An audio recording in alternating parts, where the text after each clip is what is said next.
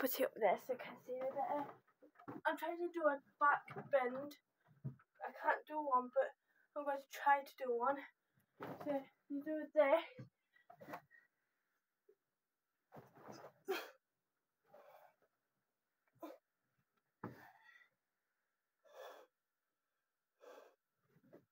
I think I'm doing it right. That kind of hurts.